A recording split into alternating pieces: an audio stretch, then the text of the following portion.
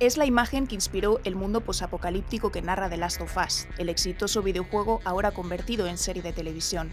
Una historia en la que un hongo de tipo Cordyceps convierte a los humanos en zombies. So if that happens, we lose. Sí, es ficción, pero los hongos no. Son reales e infectan, tanto como para generar una nueva pandemia, te lo cuentan nuestros expertos.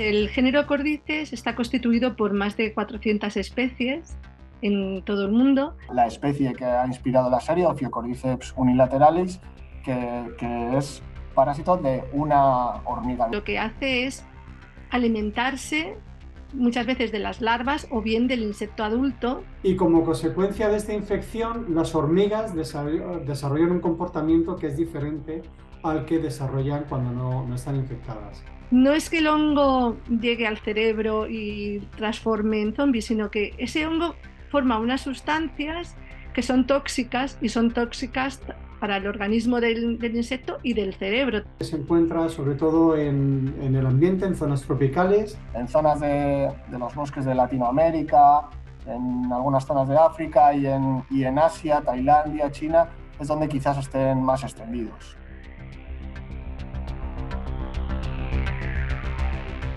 300 millones de personas al año pueden tener algún tipo de infección por hongos y de ellos mueren más de un millón y medio de personas al año.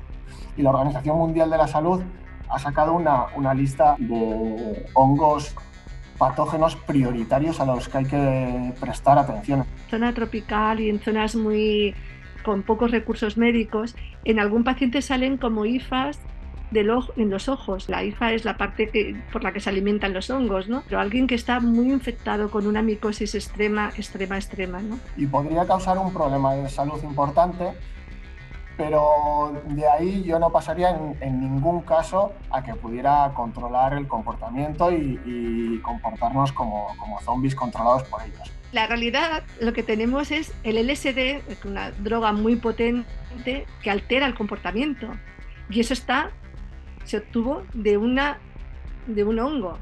Claro, no zombificaba a la gente, pero cambiaba mucho su comportamiento, ¿no?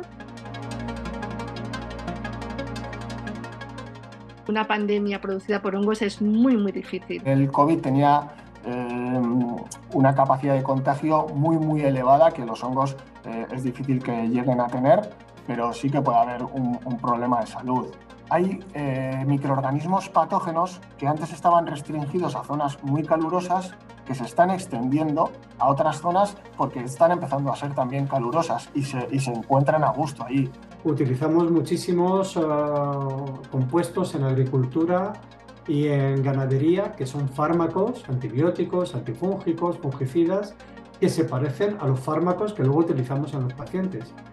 Todo esto también puede crear microorganismos que estén adaptados a estos fármacos y que luego no se infecten y, no, y los tratamientos que tenemos en, en clínica pues sean menos efectivos. Y un microorganismo eh, frente al que no tengamos herramientas es un microorganismo que potencialmente puede causar un problema a nivel mundial muy importante. Y bueno, hay que invertir en investigación para que no lleguemos a ese extremo, ¿no? A día de hoy, vacunas frente a las infecciones por hongos no, no existen. Tampoco sé hasta qué punto sería sensato vacunar a toda la población, porque no sabemos realmente cuántos luego van a ser, desarrollar enfermedad. Es diferente de lo que ha pasado, por ejemplo, con la COVID. Disponemos de, de varios eh, grupos de antifúngicos pero en comparación, por ejemplo, con los eh, antibacterianos, lo que la gente conoce como antibióticos frente a bacterias, eh, frente a los hongos, estamos bastante limitados. Hay que pensar que los hongos, aunque los tenemos ahí como en el, mundo vegetal, ¿no? No, son, no son vegetales, son un reino aparte y es un reino que está primo hermano del reino de los animales. Eso quiere decir que nuestro ADN y el ADN de los hongos comparten muchas partes. Entonces, a la hora de producir medicamentos es mucho más complejo un medicamento para un hongo, se tarda muchos años más que para un virus. hay muchos hongos que se han utilizado para medicamentos, solamente hay que pensar los antibióticos. Los antibióticos proceden del, del género penicillium, ¿no? de la, la, penicilina. Hay fármacos que se utilizan para controlar los niveles de colesterol, que son estatinas que también son producidas por hongos.